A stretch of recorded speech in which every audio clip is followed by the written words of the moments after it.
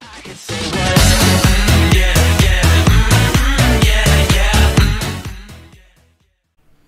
hello children आज हम लोग करने जा रहे हैं फाइन आर्ट्स में सीबीएसई क्लास ट्वेल्व की मॉडर्न पेंटिंग मॉडर्न पेंटिंग का नाम है मदर टेरेसा मदर टेरेसा के बारे में तो हम सब लोग जानते हैं। उसमें कोई ऐसी बात नहीं है जो उन्होंने जो काम किया है, उसके बारे में कोई नहीं जानता हो। तो इसलिए उनको समझना, उनकी पेंटिंग को समझना और ज़्यादा आसान हो जाएगा। और जहाँ तक सिलेबस का सवाल है सिलेबस जैसे कि हमेशा हम दिखाते हैं तो यूनिट वन के जितने भी टॉपिक्स हैं, सब हम लोग पहले ही कवर कर चुके हैं।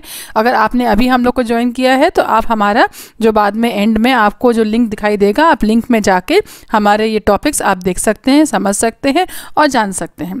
आगे जो यूनिट टू है, वो भी पूरा हो चुका है। अब हम लोग आते हैं यूनिट थ्री में। यूनिट थ्री का जो ए एंड बी है, ये पूरे हो हो चुका है बंगाल स्कूल ऑफ़ पेंटिंग का। अब हम लोग आए हैं मॉडर्न ट्रेंड तो मॉडर्न ट्रेंड से पेंटिंग में Ram van vanquishing the pride of ocean हो चुका है।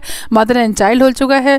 हल्दी ग्राइंडर्स हो चुका है। अब हम लोग कर रहे हैं मदर टेरेसा मदर टेरेसा किसकी पेंटिंग है? एम एफ़ हुसैन ये भी बहुत फ़ेमस पेंटर हैं। इनका नाम आप सब लोग जानते होंगे।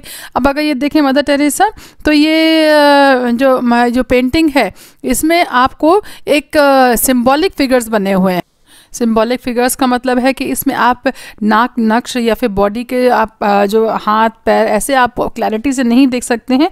लेकिन अगर आप जो देखेंगे, आपको देख के पूरा का पूरा जो थीम है, वो आपको एकदम क्लियर हो जाएगी कि आखिर इसने पेंटिंग में जो पेंटर हैं, वो क्या दर्शाना चाह रहे हैं। तो जो मदर टेरेसा का हम लोगों ने कैसे पहचाना कि मदर टेरेसा है? तो जो मदर टेरेसा की जो साड़ी होती है, जो कि लाल जो सफ़ेद रंग की होती है उसमें जो बॉर्डर होता है ब्लू रंग का, वो ये जो साड़ी है, उसी से सिग्निफाई हो रहा है कि ये आ, मदर टेरेसा हैं और उनके साथ उनके कोई और भी सिस्टर बैठी हुई हैं साथ में और यहाँ पे बगल में भी कोई बैठा हुआ है। तो ये आ, उनके इनके इनके जो लैप में इनकी गोद में एक बच्चा है इनके इनकी गोदी में भी कोई फिगर लेटा हुआ है और यहाँ पे कोई औरत उस जो उसके रिलेशन में होगी जो उनके परिवार की होगी वो भी उनके बगल में बैठी हुई है। और ऐसा लग रहा है जैसे कि मदर टेरेसा उसको आशीर्वाद दे रही हूँ। अब अगर जो मदर टेरेसा का पेंटिंग आए तो आप कैसे करेंगे? हमेशा की तरह जैसे कि आपको बताया है कि ये जो पाँच जो चीज़ें हैं इनको आप लिखना कभी भी मत भूलिएगा अगर आपको आ, पेंटिंग का कुछ भी लिखने के लिए आए। तो नेम क्या है? Mother Teresa. आर्टिस्ट कौन है? M F Hussain period 1997 AD medium water colour school, modern और courtesy National Gallery of Modern Art, New Delhi. तो ये जो चीज़ें हैं, ये कुछ, ये पाँच चीज़ें तो आपको ज़रूर याद ही करनी पड़ेंगी, क्योंकि ये जो ये जो चीज़ें इसलिए भी इम्पोर्टेंट होती हैं, क्योंकि अब आपके जो छः मार्कर हैं, जो कि स्टार्टिंग में ही आते हैं, जो ए सेक्शन में आ रहे हैं, और छः छः मार्क्स का जो क्वेश्चन है, जो कि ये टिक द राइट क्वेश्चन वाला जो है, उसमें ये किसी भी तरीके से पूछे जा सकते हैं। अब ये वन मार्क क्वेश्चन इसमें कैसे कैसे पूछे जा सकते हैं, समझने की कोशिश करते हैं। अगर उन्होंने बोला कि एम एफ़ हुसैन की कौन सी पेंटिंग है जो कि मदर मॉडर्न स्कूल के अंडर में आती है तो आप लिखेंगे मदर टेरेसा। या फिर अगर लिख पूछा जाए कि मदर टेरेसा के आर्टिस्ट कौन है तो आप लिखेंगे उसमें एम एफ़ हुसैन या फिर एम एफ़ हुसैन ने मदर टेरेसा को कौन से मीडियम में बनाया है तो आप लिखेंगे वाटर कलर या फिर एम एफ़ हुसैन जो आर्टिस्ट हैं, वो कौन से स्कूल को बिलोंग करते हैं तो आप लिखेंगे मॉडर्न स्कूल तो ये ये ये जो क्वेश्चन हैं, इस तरीके से ये आपके वन वन मार्क क्वेश्चन में पूछे जा सकते हैं। अब जहाँ तक है सब्जेक्ट मैटर सब्जेक्ट मैटर जो मदर टेरेसा है अगर आ, वो पूछे मदर टेरेसा कौन थी तो ये आपको वैसे भी पता होना चाहिए इस उम्र में आके। नहीं भी पता है तो आप इसको कंपोजिशन और सब्जेक्ट मैटर से आप समझ के आपको पता चल जाएगा।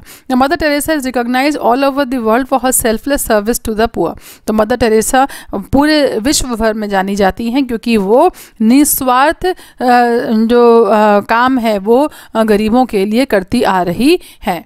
Now she can be recognise by her dress and her love for children तो उनको पहचानने के लिए सिर्फ़ उनके जो कपड़े, जो उनके, उनको ट्रेडमार्क कपड़ा था, उनका जो सफ़ेद रंग की साड़ी और नीले रंग का बॉर्डर उसी से ही उनको पहचाना जा सकता है उनका जो बच्चों के लिए प्यार था, उससे भी उनको पहचाना जा सकता है।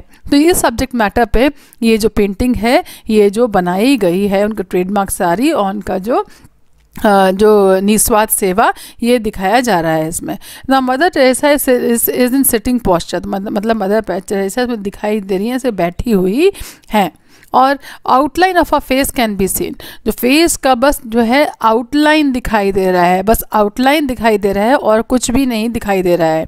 She covers a head with white colour sari with blue border the sari is a uniform of sisters of orphanage and homes run by Mother Teresa तो वो जो क्या पहनी हुई हैं, वो सफ़ेद रंग की साड़ी पहनी हुई हैं, जिसमें नीले रंग का बॉर्डर है और ये जो साड़ी है, ये वहाँ की यूनिफॉर्म है, जो मदर टेरेसा जो स्कूल रन करती हैं ऑर्फनेज के लिए जो अनाथ बच्चों के लिए जो वो, उसकी वहाँ पे जितने भी सिस्टर्स हैं इंक्लूडिंग मदर टेरेसा वो भी यही साड़ी पहनती थी।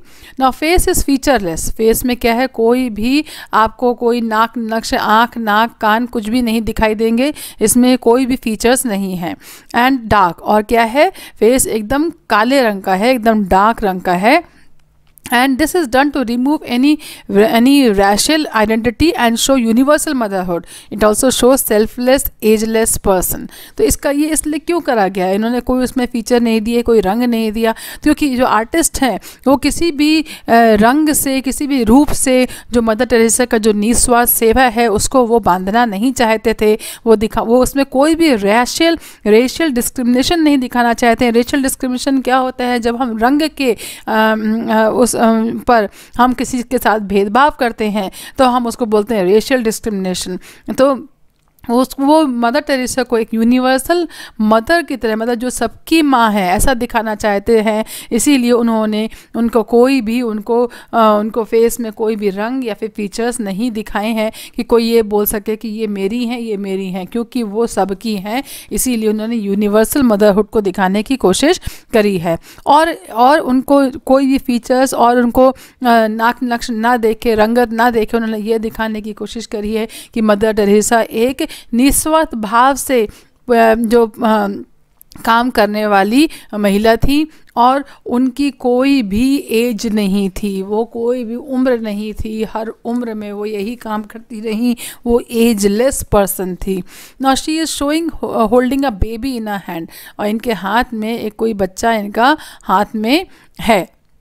और half sari also shelters to other children one is sleeping and lying on her lap and other is sitting तो ये जो साड़ी है ये ये सिर्फ़ uh, सिर्फ़ एक ही को नहीं जो एक अगर देखा जाए तो ये ये अलग अलग रूप दिखाए हैं मदर टेरेसा के।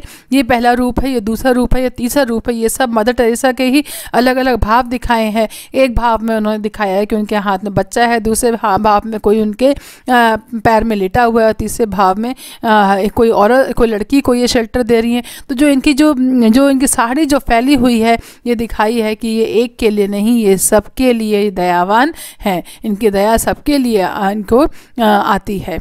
ना the left palm appears to be blessing the family and assuring them जो लेफ़्ट पाम है, ये ऐसा निकला हुआ है जैसे कि दिखा रहा हो कि वो आशीर्वाद दे रहा है और परिवार को बोल रहा हो कि सब कुछ ठीक हो जाएगा, फ़िक्र करने की बात नहीं है।